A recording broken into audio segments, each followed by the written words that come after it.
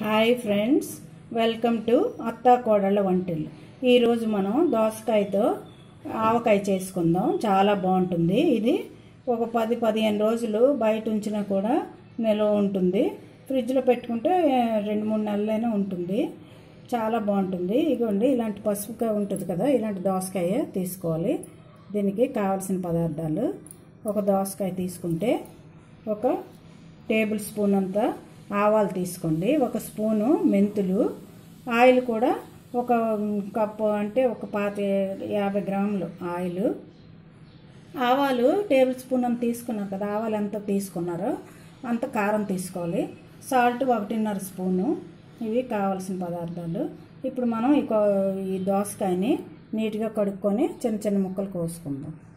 ఈ ఆవాలు పచ్చివే తీసుకోవాలి. ఆవాలు మెంతులు వేరువేరేగా పౌడర్ చేసుకుందాం. మిక్సీలో చిన్న గిన్నెలో వేసుకుంటే బాగా మెత్తగా వస్తుంది కదా. మిక్సీ గిన్నెలో పౌడర్ చేసుకుందాం. ఇలాగా చిన్న ముక్కలు కోసుకొని ఒక పది నిమిషాల ముందు కొంచెం హాఫ్ స్పూను సాల్ట్ వేయండి. వేసి ఇలా బాగా కలపండి. చెయ్యి అన్నీ మనకి పొడిగా ఉండాలి. హ్యాండ్ బాగా ఇలా కొంచెం ఇలా పిండి ఈ బౌల్లో వేయండి. కొంచెం వాటర్ వస్తుంది. నేనైతే గింజలు కూడా వేసాను. దోసకాయ గింజలు చాలా విటమిన్స్ ఉంటాయి. అందువల్ల అవి కూడా ఆవకాయలు ఆవకాయలో చాలా టేస్ట్గా కూడా ఉంటాయి. మీకు గింజలు పంట తగిలితే నచ్చదు అనుకోండి. అప్పుడు గింజలు మధ్య గింజలు తీసేసి ఇలా చిన్న చిన్న ముక్కలు చూసారా? ఇలా కోసుకోండి. ఒక ప- ఐదు నిమిషాల ముందు కొంచెం ఒక ప- అర స్పూను సాల్ట్ వేయండి. వేసి ఇలాగ నీళ్ళు తీసేయండి.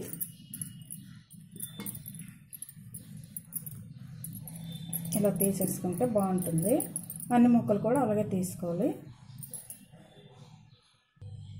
చూసారు కదా? ఇలా ముక్కలన్నీ ఇందులో తీసుకున్నాం. నేను ఇక షీల్డ్ కూడా వేసాను చాలా బాగుంటాయి అందుకోసం. ఇప్పుడు ఫస్ట్ మనం ఈ ముక్కల్లో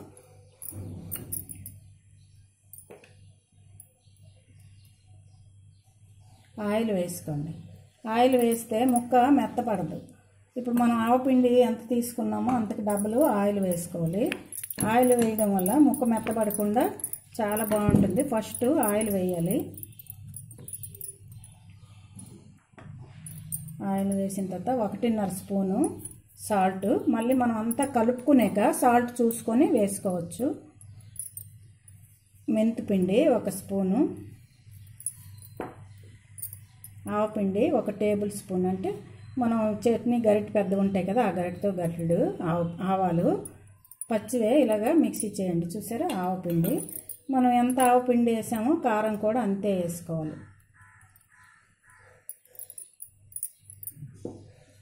ఆవపిండి ఎంత అంటే కారం అంతే.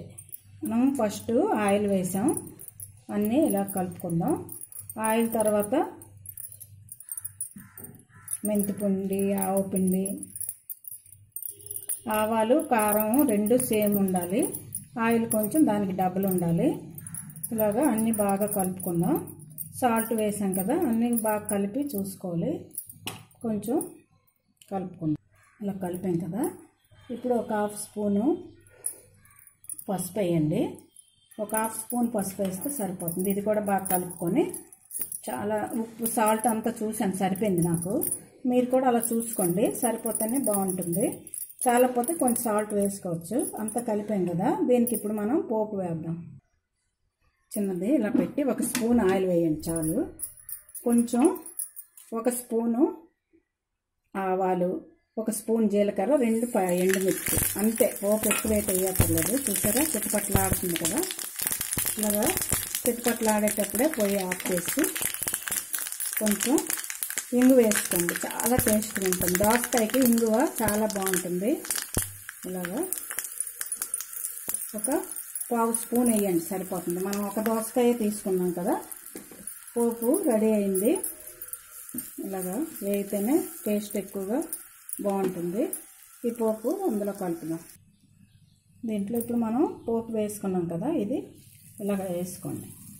పోపు వేసుకొని కలపండి. ఇలా కలుపుతుంటే బాగుంటుంది. ఇది ఒక్క పావు గంట కానీ అరగంట ఉంటే చాలు ఊరిపోతుంది. అరగంట నుంచి మనం ఒక టెన్ డేస్ వరకు బయట ఉంచుకొని తినొచ్చు. ఏమీ కాదు. ఆయిల్ బాగానే వేసాం కదా. ఇలా ఆయిల్ మీద కొంచెం తేరినట్టు బాటిల్లో కానీ దేంట్లో కానీ వేసుకున్నారంటే బయట కూడా బాగానే ఉంటుంది. ఇంకా ఎక్కువ రోజులు ఉండాలంటే ఫ్రిడ్జ్లో పెట్టుకోవచ్చు. ఇది మనం చిన్న చిన్న ఫంక్షన్లు ఇంట్లో అవుతుంటాయి కదా. బర్త్డే ఫంక్షన్స్ కానీ ఏవైనా చిన్న చిన్నవి అయ్యేటప్పుడు మనం పచ్చళ్ళు పెడుతుంటాం కదా ఫంక్షన్స్లో ఇలా మనం ఒక నాలుగైదు దోసకాయలు కోసి ఇలా చేసామనుకోండి మనమే సొంతంగా మన చేతితో చేసిన పచ్చడే మన ఇంట్లో జరిగిన ఫంక్షన్కి పెట్టినట్టు ఉంటుంది. చాలా టేస్ట్గా ఉంటుంది. దోసకాయలో వాటర్ ఇది కదా చాలా మంచి విటమిన్స్ ఉంటాయి ఇందులోని. ఏ విటమిన్ ఉంటుంది? దోసకాయ ఈ దోసకాయలో కొంచెం సి విటమిన్ ఉంటుంది. మంచి జీర్ణశక్తి అన్నిటి చూసారు కదా మనం అంత బాగా తయారు చేసుకున్న దోసకాయ పచ్చడి ఇది. అంటే ఆవకాయ రౌండ్ దోసకాయ ఆవకాయ కదా. అందులో కొంచెం ఒక అరచెక్క నిమ్మ నిమ్మకాయ పిండి వేయండి. దోసకాయలో ఆల్రెడీ పులుపు ఉంటుంది. ఆ పులుపు చాలు అనుకుంటే నిమ్మకాయ వేయక్కర్లేదు. ఇంకొంచెం పులుపు కావాలి అనుకున్నాను ఇలాగ హాఫ్ నిమ్మ చెక్క వేయండి సరిపోతుంది. మనం తీసుకున్న ఒక దోసకాయకి హాఫ్ వేసి ఇలా నీట్గా కలుపుకుంటే చాలా బాగుంటుంది. చూసారా? లాస్ట్లో వేసుకోండి.